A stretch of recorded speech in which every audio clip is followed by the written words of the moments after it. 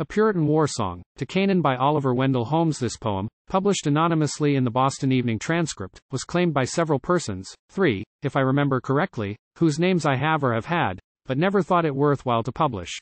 Where are you going, soldiers, with banner, gun, and sword? We, re-marching south to Canaan to battle for.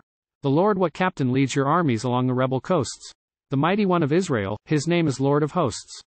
To Canaan, to Canaan the Lord has led us forth, to blow before the heathen walls the trumpets of the north. What flag is this you carry along the sea and shore? The same our grandsires lifted up, the same. Our fathers bore in many a bottle's tempest it shed the crimson rain, what God has woven in his loom let no man rend in twain. To Canaan, to Canaan the Lord has led us forth, to plant upon the rebel towers the banners of the north. What troop is this that follows, all armed with picks and spades?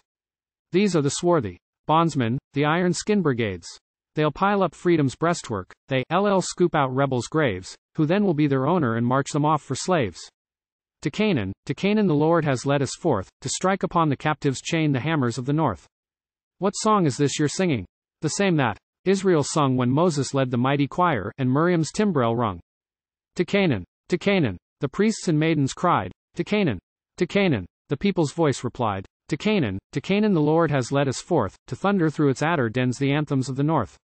When Canaan's hosts are scattered, and all her walls lie flat, what follows next in order?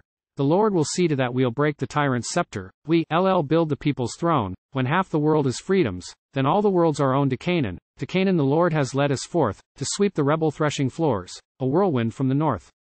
August 12, 1862.